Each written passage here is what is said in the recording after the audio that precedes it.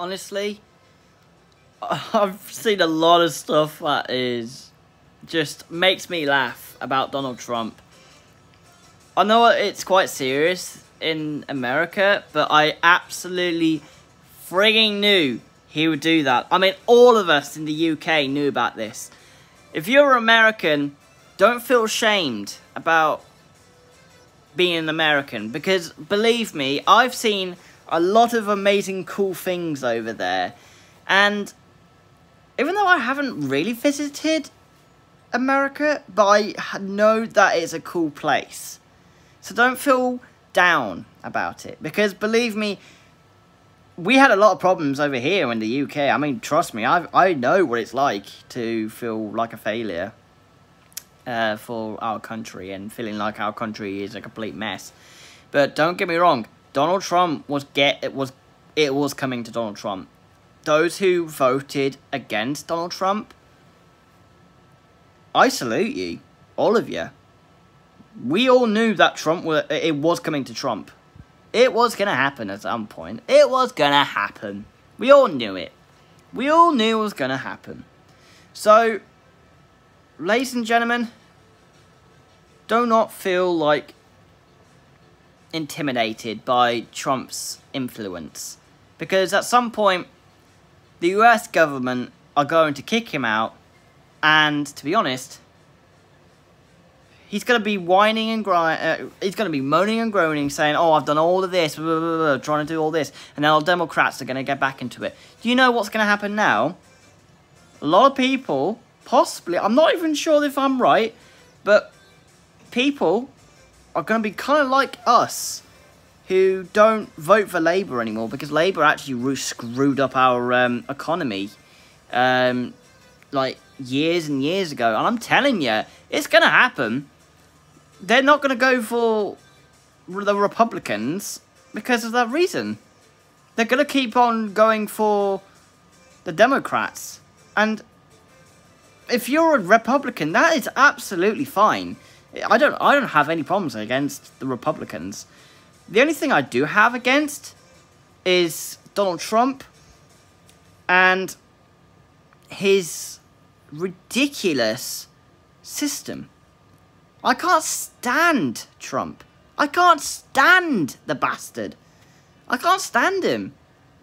I mean, I, I speak to some people on the uh, from the other side uh, where I currently work, and I'm telling you, some people were like, "Oh, he's just he just says all these not these these great things and all that. But I like I look at the internet and I think these people are really badly brainwashed.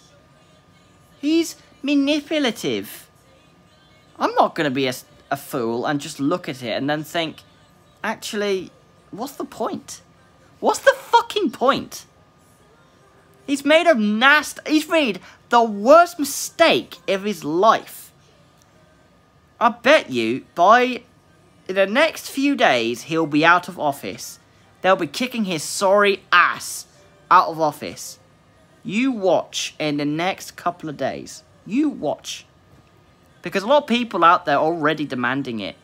And I don't actually fucking blame them. Honest to God, I do not blame them. Fair play to the, those who have been supportive to what's right. Because those who stormed the Capitol on Friday should be fucking ashamed of themselves. They think they rule the country by doing that. You can go up to life in prison. You haven't thought this through, haven't you? You have not thought this through. So, those who think you they know everything and they think, oh, we can we can do all this just so we can make the Senate's listen to us. It fucking won't work. We have a democracy. We don't do things like that. If you want to become, uh, South, sorry, North Korea, you're going on that way. And we know what North Korea is like. All of us. So think that through. Think it through very well. Because someday we might not get that anymore. And it's hard to think that. Do not I'm, I'm saying this to every American out there. Do not fucking do that. It's disgusting. And I can't even believe I'm saying this. But you Americans, people who, who, who follow Trump are idiots. Who are retarded enough to think that.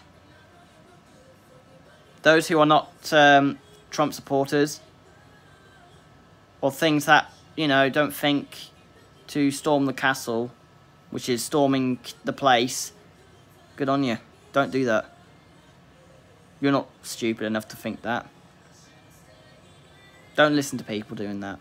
Make your own decisions. I've had a tough 2020, and I'm sure everybody did. But believe me, this lockdown's going to be tougher for all of us. And I bet Biden's already thinking about having a national lockdown, just so we can control the outbreak. It's going to be a lot harder for all of us, uh, ladies and gentlemen. Keep it up. Support who you feel is right for you, but not for Trump. Kick that sorry asshole out of office. Good on you, Senates of America. You're making the right fucking decision. And Twitter. And tw Facebook. You're making a very good decision. I'll speak to you guys in the, in the next video soon. Peace.